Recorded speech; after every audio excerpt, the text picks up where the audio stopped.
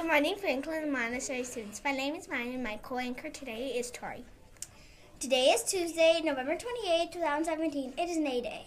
The weather forecast for today is a high of 48 degrees, but don't get too used to this nice weather. Winter is still coming and you'll need your cold weather gear. Today, lunch for today is beef pepperoni, green beans, salad greens, and fresh grapes. Today's fresh fruit is a banana.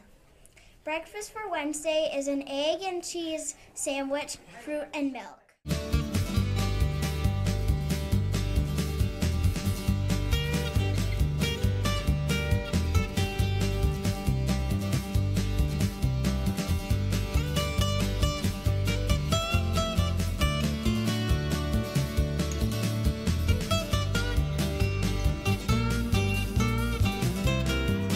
Now we have a video from the one and only Mr. Gasner with some fun team activities for outside at recess. Welcome back, Franklin Flyers. We're here to tell you about our new game of the week for this upcoming week on Wednesday. Remember, every Wednesday we're going to try to do some uh, cooperative fun games outside. So this week we have two different choices. Again, one's more geared for K2, but you can probably pick this week because the games it's up to you.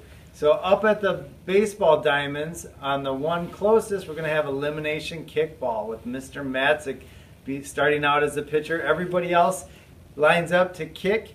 If you get out, you have to join the outfield and help Mr. Matzik try to eliminate all of the other kickers. On the other baseball diamond, we're going to try to take advantage of this warm weather and try to play a game of wiffle ball.